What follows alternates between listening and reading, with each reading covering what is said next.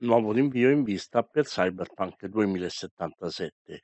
Il COSIO Adam Sikinski ha spiegato che, a proposito della nuova data individuata 21 giorni dopo quella del 19 novembre, si sentono non comodi ma fiduciosi che questo possa preannunciare un possibile rinvio ulteriore della data di uscita di questo titolo di CD Projekt Red?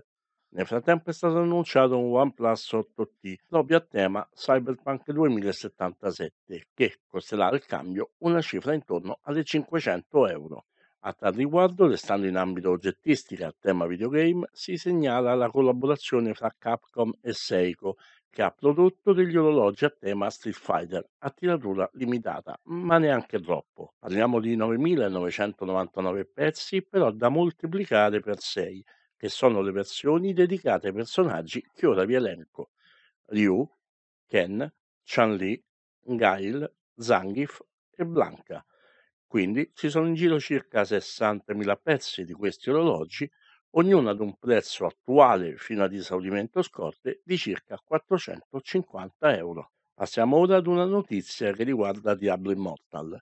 Eh sì, ne è passata di acqua sotto i ponti quando il pubblico ha quasi tirato stracci in faccia alla presentazione di questo titolo. Tuttavia Blizzard è fiduciosa e vi riporto proprio parole interne al team. Daniel Allegre, presidente COO di Activision Blizzard, ha infatti rivelato nell'ultimo meeting con gli azionisti che il controverso spin-off mobile della serie Hack Slash sta ricevendo feedback interni molto positivi durante la fase di prova. Questo vuol dire che nei test interni Diablo Immortal sta piacendo parecchio e grazie al cazzo direi. Il problema è come lo fate arrivare al pubblico e quando. Nintendo Switch si dà al cloud gaming. Eh sì, avete capito bene, anche la grande N si affaccia sul mondo del cloud gaming, proponendo Control Ultimate Edition da giocare comodamente sulla vostra Nintendo Switch, senza scendere a particolari compromessi grafici in quanto fisicamente il gioco girerà su server esterni. Si preannuncia forse all'orizzonte una bella cordata NM Nintendo e Microsoft per bloccare la Sony? Francamente io non credo uscirà mai il pass Microsoft su Nintendo, ma a questo punto sognare non ci costa nulla. Monkey Island Anthology. Qualche settimana fa Limited Run Games, un distributore di videogiochi con sede nella Carolina del Nord, aveva annunciato la Monkey Island Anthology, che includeva tantissima ciccia. Non solo tutti i titoli della serie Monkey Island, compreso di Tales of Monkey Island, ma anche alcuni gadget molto graditi. Un libro con tutti le retroscena della creazione della serie, un poster dedicato all'insulto definitivo, non so se ricordate, ho battuto il maestro di spada, un biglietto ovviamente non utilizzabile per il parco divertimenti Big Hoop, il mitico e ormai perduto Disco 22, uno shadowbox illustrato, nonché un set di spille e una statua dedicata proprio al nostro eroe Guybrush Stripwood. Ovviamente il tutto opportunatamente correlato di certificato di autenticità. Il costo di tale tesoro? Mm, all'incirca 160 euro più spedizione. Troppo bello per essere vero? Infatti sì.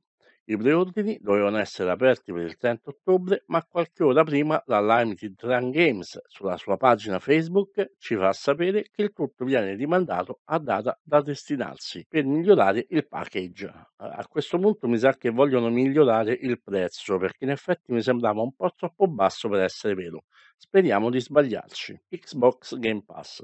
The Elder Scrolls 6 e Starfield saranno entrambi disponibili su Xbox Game Pass dal day one.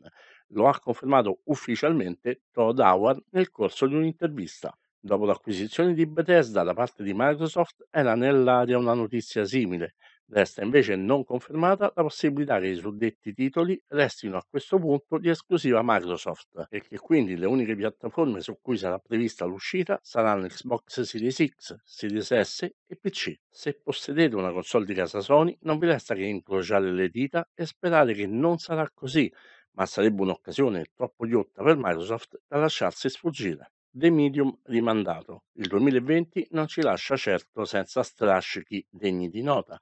Dopo l'ennesimo rinvio da parte di CD Projekt Red di Cyberpunk 2077, ora è il turno di The Medium, titolo horror di Blobber Team, esclusiva Microsoft, che prende spunto a più mani dalla saga di Silent Hill. Se il titolo precedentemente era atteso per il 10 dicembre 2020, dobbiamo invece attendere il 28 gennaio 2021, neanche tanto a dire il vero. Speriamo che non ci siano ulteriori sorprese.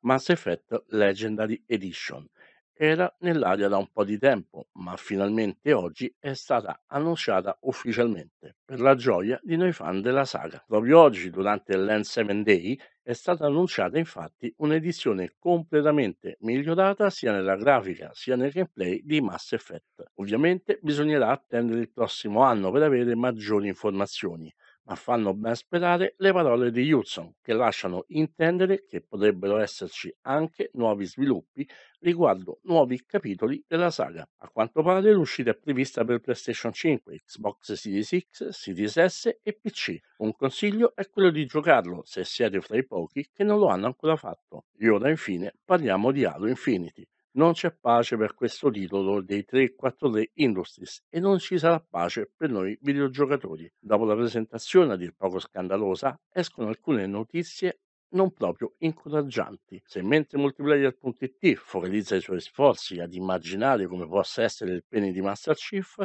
noi della Tana dei Nerd invece parliamo di cose più serie. Dapprima l'abbandono del progetto da parte del direttore di 343 Industries, Chris Lee, e a quanto pare il gioco verrà terminato in sua assenza. Altra brutta notizia è che sembrerebbe che tale titolo possa uscire frammentato a pezzi. Della serie me lo paghi tutto oggi, poi il gioco lo vedi piano piano col tempo. Una pratica non poco diffusa e su cui ancora mi brucia il sedere. Anthem vi ricorda nulla? Tuttavia, tornando ad Halo Infinite, alcuni rumors, spero voci di corridoio infondate, danno l'uscita del titolo persino posticipata al 2022. Prima di salutarvi vi lascio un'ultima piccola chicca. È ancora preordinabile e acquistabile sul sito di GameStop la figure di Master Chief Halo Infinite. Per soli 60 euro vi consiglio di non lasciarvela sfuggire. Dalla Tana dei Nerd è tutto, ciao ragazzi, buon gioco